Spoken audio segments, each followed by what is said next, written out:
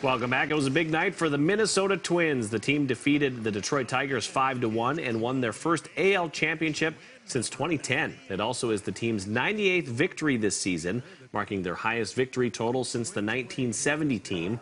But it wasn't until later in the night when the game between Chicago and Cleveland ended that the team found out that they had clinched a playoff spot.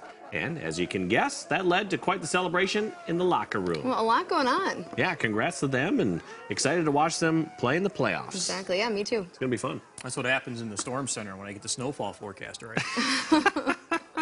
You guys just have a big celebration. oh, yeah, you know it. Champagne everywhere.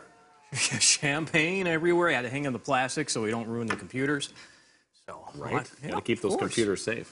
That we do. Um, sometimes they go down, though, but that's technology, isn't it? Yes, That's right. is. How we doing this morning? Doing Thursday, good, one doing step good. closer to the weekend. It was chilly this morning. Yeah, It Again. was. Taste of fall, Yep. right?